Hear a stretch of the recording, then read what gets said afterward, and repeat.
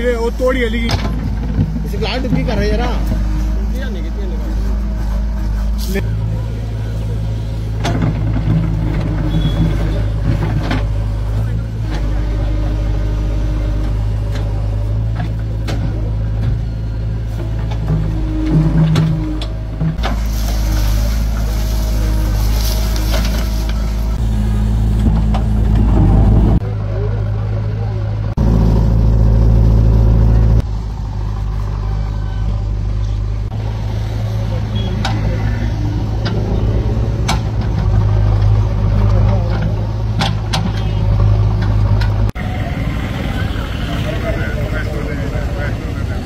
Basically चक रिजू और हमारा चक सज्जन के बीच ये बाउंड्री थी।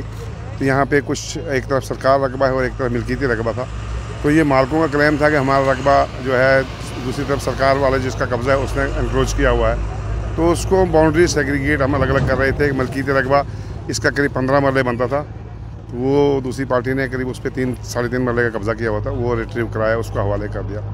इन लोगों ने कब्जा जो है, वो किया हुआ था। ये स्टेट लैंड के ऊपर ऑक्यूपेंट्स हैं इलीगल ऑक्यूपेंट्स हैं इन्होंने ही स्टेट लैंड की आड़ में उसको कब्जा किया होता हालाँकि उनको उससे बेदखल कर दिया गया है। ज़मीन ज़मीन किन लोगों की थी? ये ज़मीन जो थी ये चक्रिजू के लोगों की थी। आज सरकारी ज़मीन कितनी खाली कराई है सरकारी ज़मीन तो हमारे पास ये तकरीबन दूसरे गाँव में है अ, दस कनाल है ये यहाँ पे। सरकारी ज़मीन है ये ऑलरेडी खाली हो चुकी है ये हमने आज तो कुछ नहीं खाली कराया हमने सिर्फ़ आज इसको बना इसका अलग किया प्राइवेट लैंड से जिसको कि ये शक था हमें कि ये सरकार लैंड पे कब्जा कर सकते हैं। इसके लिए इनको बाउंड्री लगा दी कि इससे आगे नहीं जाएँगे। इन लोगों का कहना था कि यहाँ पर और भी जगह पे सरकारी लैंड जो है वो कब्जे किए गए हैं। उस पर कब कार्रवाई उससे बहुत जल्दी उसके भी ऊपर कार्रवाई। अब स्टेप बाय स्टेप ही होगा। एक एक दिन करके हम उस पर भी चलेंगे। तो ज़रूर होगी कार्रवाई।